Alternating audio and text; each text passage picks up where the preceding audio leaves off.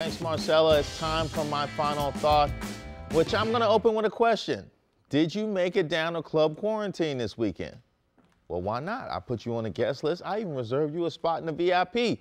Saturday night, Derek Jones, known professionally as D-Nice, opened the virtual doors to Club Quarantine, giving us the stress relief we needed. Alone in his Los Angeles living room, armed only with a webcam, turntables, an occasional drink, and a rotating cast of hats, he hit us with nine straight hours of classic soul, R&B, old school hip hop, salsa, and Afro world beats. He even played a little Kenny Rogers and it didn't cost us a thing.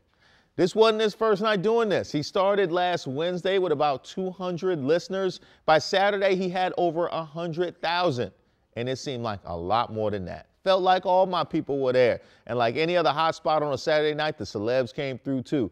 Everybody you love made an appearance. Halle came through. Ellen came through. Bradley Cooper came in. Beyonce's mama showed up. Jamie Foxx was in the building, along with Janet Jackson, Oprah, and Marky Mark, or you know, Mark Wahlberg, as his ID said. And then Michelle Obama came in. And we knew because D made it a point to let us know when they came through the door, which had me adding a new goal to my vision board, get famous enough to get a shout out from the DJ when I come into the building.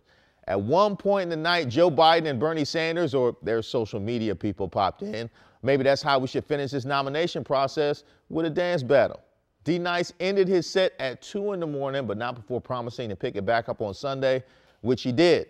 And he also inspired other DJs, Questlove among them, to go live and turn their parties out. This moment came right on time. After spending the last week doing our best to stay apart, it was great to feel connected again.